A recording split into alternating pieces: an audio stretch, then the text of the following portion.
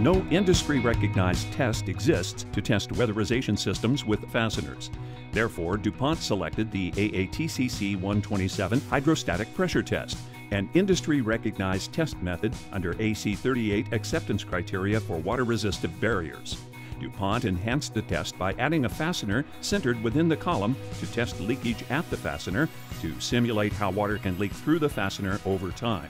DuPont believes that this test, as enhanced, fairly illustrated the likelihood of water penetration under real life conditions.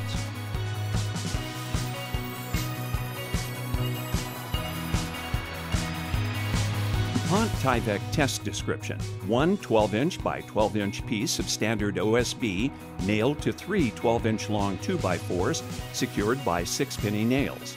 One piece of 12 inch by 12 inch Tyvek home wrap was fastened to the OSB with Tyvek wrap cap staples.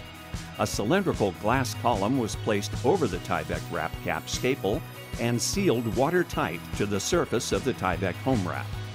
55 centimeters of red dyed water were added to the cylinder.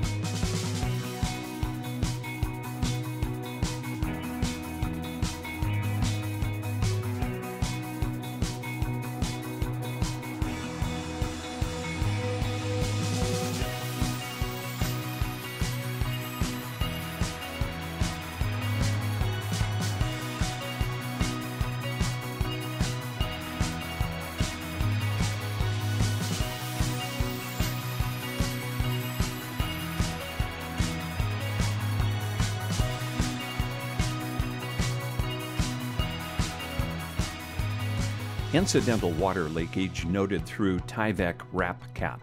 This minimal amount of water should not impact wall durability because the water is between the Tyvek home wrap and the OSB and has not penetrated to the inside of the wall. The high vapor permeability of Tyvek home wrap allows the wall to dry to the outside.